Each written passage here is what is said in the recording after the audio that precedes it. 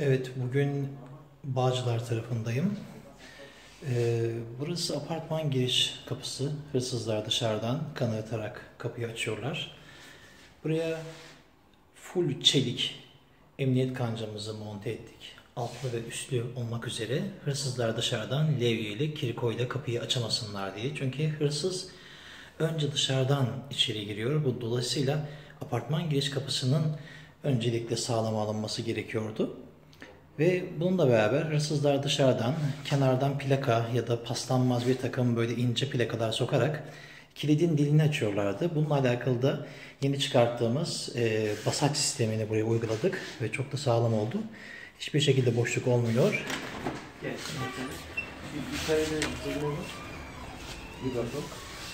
Buradan herhangi bir parça sokulduğu zaman tamamen paslanmaz parçalara takıldığından dolayı da dışarıdan hiçbir şekilde bir parça plaka dile ulaşamıyor. Dile ulaşamayınca da dışarıdan herhangi bir şeyle kapı açılamıyor.